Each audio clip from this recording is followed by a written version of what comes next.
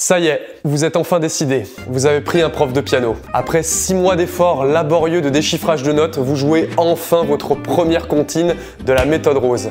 Et là, en allant à la gare, voyez un mec faire vibrer les foules sur le piano de la gare avec les quatre accords magiques. Vous êtes découragé, vous ne comprenez pas ce qui se passe. En plus, le type vous dit qu'il fait du piano depuis 3 mois et qu'il n'a jamais pris un cours de piano. Pas de panique, vous n'êtes pas moins intelligent que cette personne, ni moins doué. C'est juste qu'il a appris le piano d'une façon différente. Il a appris le piano avec le jeu en accords et c'est fort probable qu'il joue les quatre accords magiques. Les quatre accords magiques sont des accords qui sont très simples à apprendre et une fois que vous les savez, vous pourrez jouer des dizaines, des centaines, voire des milliers de chansons.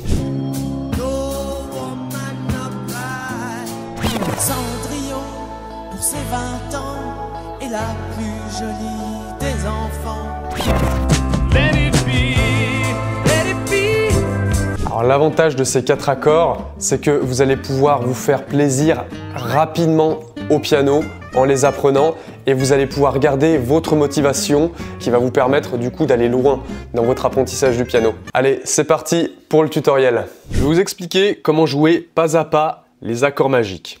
On va commencer par les positions les plus simples. Les quatre accords magiques sont Do majeur, Sol majeur, La mineur, Fa majeur. Maintenant, avec les deux mains. No.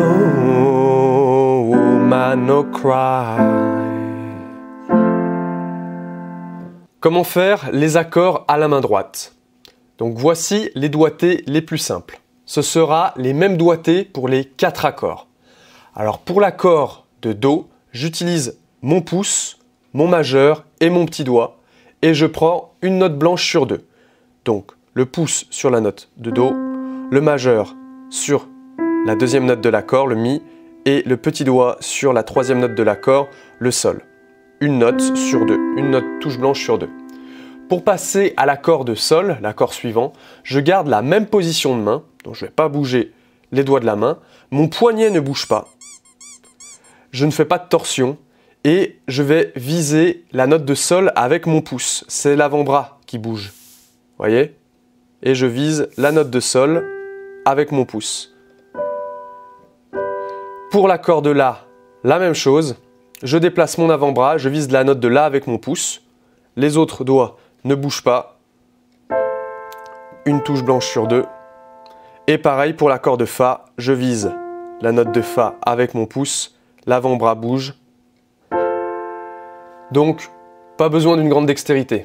Pour vous permettre de travailler sans avoir à revisionner cette vidéo, je vous ai créé un aide-mémoire comportant tous les accords et tous les doigtés que je vous explique dans ce cours YouTube. Comme ça, vous pourrez l'imprimer, le poser sur votre pupitre et travailler sereinement. Aussi, si vous voulez apprendre rapidement les notes au piano, eh bien je vous renvoie vers cette vidéo euh, dans laquelle je vous donne un exercice simple et efficace. On enchaîne. Alors pour que ces accords soient fluides et agréables à l'oreille, qu'il n'y ait pas de temps de latence entre les deux accords, nous allons sortir notre ami le métronome. On en a tous un sur notre téléphone. Donc, pour commencer, on le règle sur une vitesse très lente.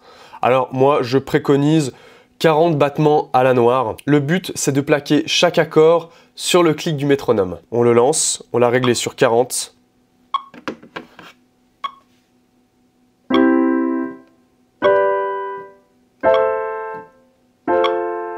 Si vous plaquez après le clic, c'est que c'est un peu trop rapide. Comme ça par exemple.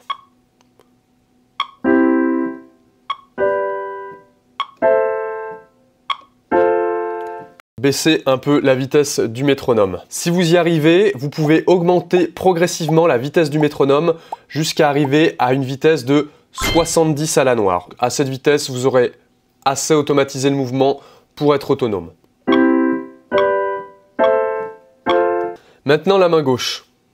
Le plus simple, c'est de plaquer la première note de chaque accord avec votre petit doigt de la main gauche, comme ceci.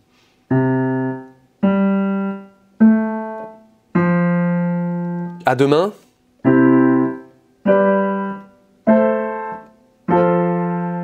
Alors, une autre manière de s'accompagner avec la main gauche, c'est de plaquer les accords avec le doigté suivant. Donc, premier accord pour l'accord de Do, petit doigt, le majeur, et le pouce. Et c'est le même doigté pour les trois autres accords. Vous voyez, l'accord de Sol, l'accord de La mineur, l'accord de Fa majeur.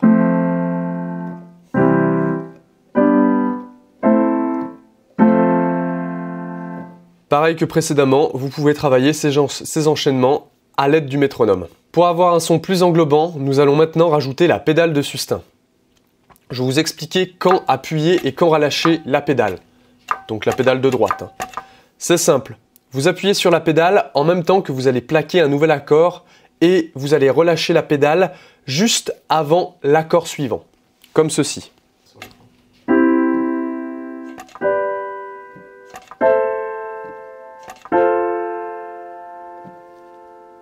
Ça y est, vous enchaînez les quatre accords magiques et vous pouvez chanter des centaines de chansons sur ces quatre accords. Félicitations. Mais un problème se pose. En chantant par-dessus les accords, vous pouvez ressentir une gêne.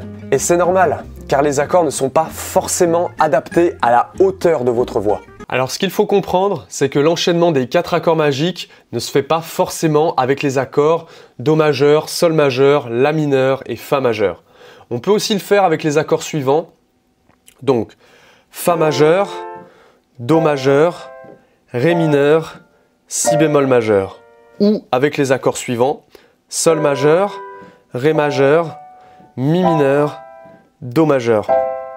Et il y a encore plein d'autres façons de le faire. Alors le but, ça va être de trouver l'enchaînement d'accords magiques qui va bien avec votre voix ou avec la voix du chanteur qui vous accompagne. Par exemple, si je chante No Woman No Cry, euh, l'enchaînement des quatre accords magiques en Do.